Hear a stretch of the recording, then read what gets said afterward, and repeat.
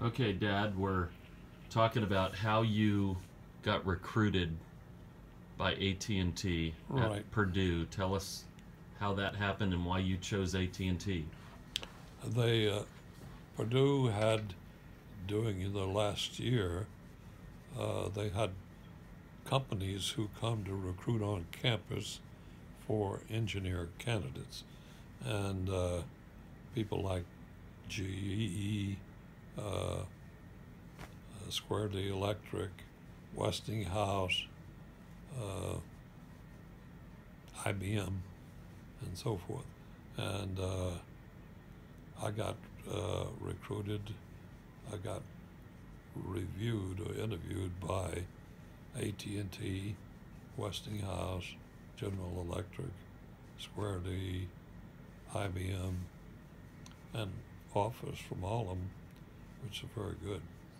And I chose AT&T because they uh, they had what they called a student engineer program, and they moved you around to different functions, uh, departmental functions, so you learn all of the functions of the business, and uh, uh, hopefully, uh, after assignments in them, you you would work your way up in management.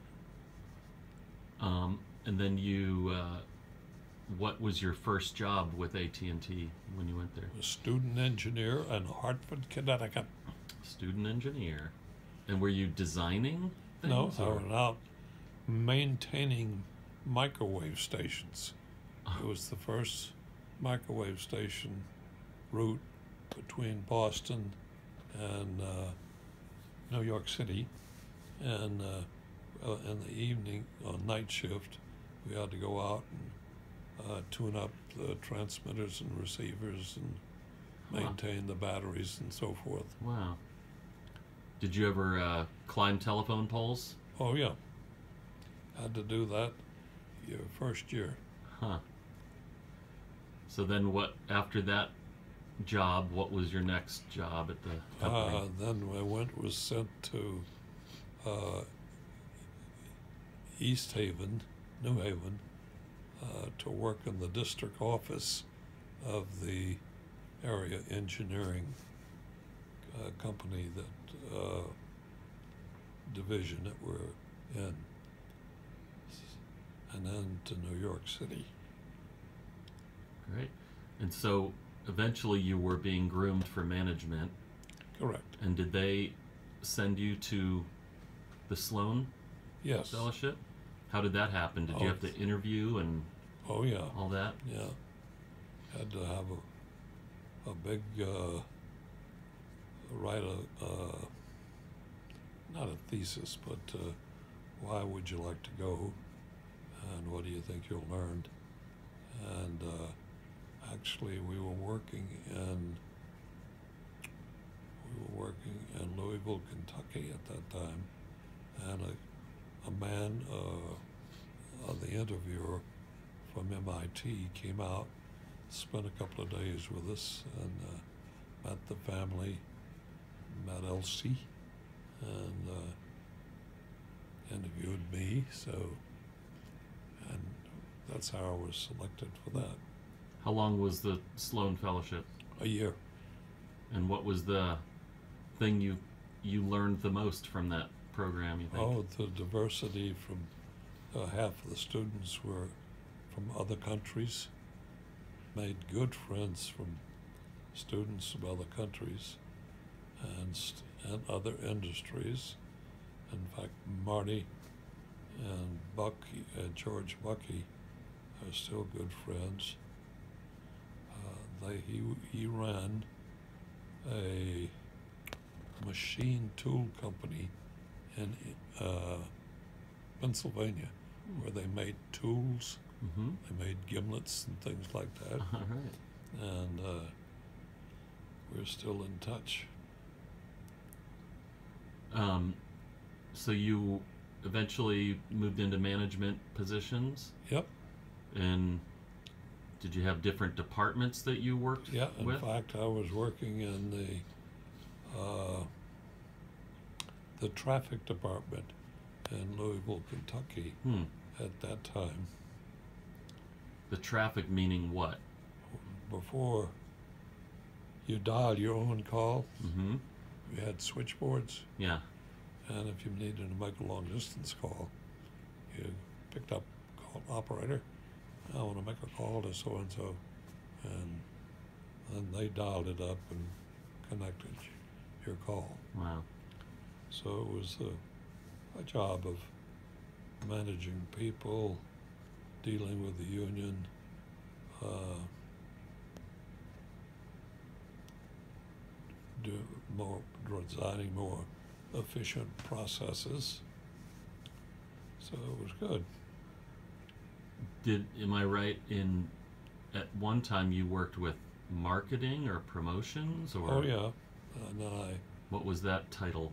Uh, I got into the sales department when we were trying to move away to be more customer service and selling individual circuits uh, for private line use. And then, uh, then I got into after MIT. Uh, they were heavy on marketing. I got into that and then ultimately in charge of advertising and uh, developing and then ultimately designing new offerings in a competitive op- Hmm. operation. Did you have were you part of like uh, ad campaigns and things like that? Oh yeah, What were some of the the best ones you worked on? the best next thing of being there.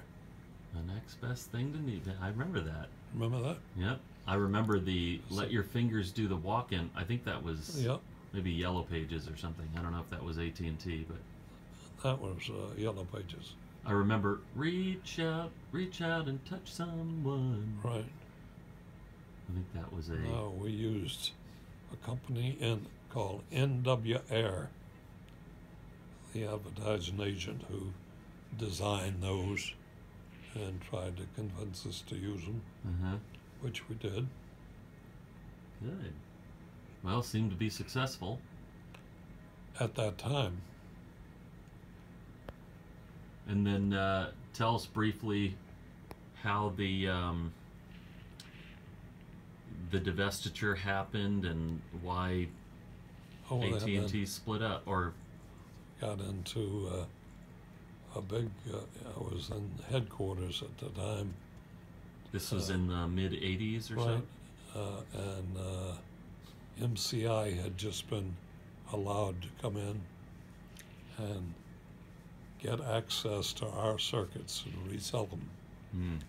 And uh, they had, they did not have to document why their prices were what they were, and we did. We had to make all these sophisticated studies, and uh, so I was in charge of that for new services to be competitive, which they ultimately claimed to be anti-competitive, and uh, and that's when the government uh, brought the lawsuit against us, and which ultimately ended up uh, breaking us up. Hmm. Was that uh, in looking back? What's your feelings about that? good and bad. Uh, all of the innovations that you see with the apps and uh, plastic telephones and and throwaway products, you know, we we never made Weston and not made stuff to last 50 years out of gold and silver and uh, contacts and Hmm. now of course everything is throwaway Hmm. and uh,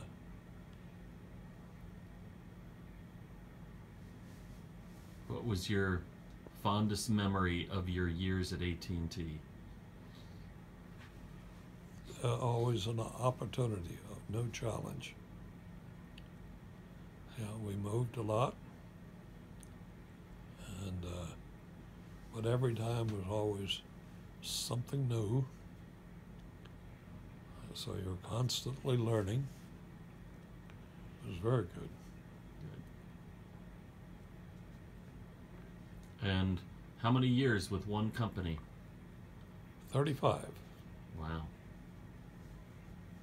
Are you glad you stuck with that, or would you Yeah. have preferred to move around a little? Not at the time. That was uh, the the classical way to to uh, build a career. Whereas now, if you stick with a company for 35 years, something wrong with you. True. Interesting. There'll be a shift.